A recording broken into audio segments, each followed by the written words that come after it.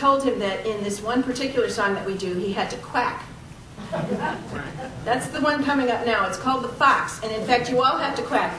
Third verse, there's a place where didn't mind, let's see how, he grabbed the gray goose by the neck, throwed a duck across his back, didn't mind the practice. Quack, quack. Good. And the legs all dangling down, oh, down, oh, down, oh, didn't mind the.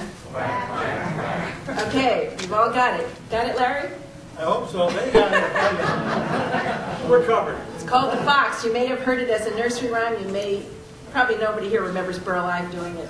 Yep. Oh, you do. The Smothers Brothers did it. Yeah.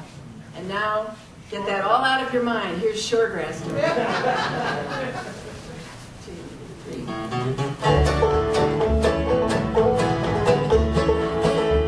Old fox went out on a chilly night, prayed to the moon for to give him light.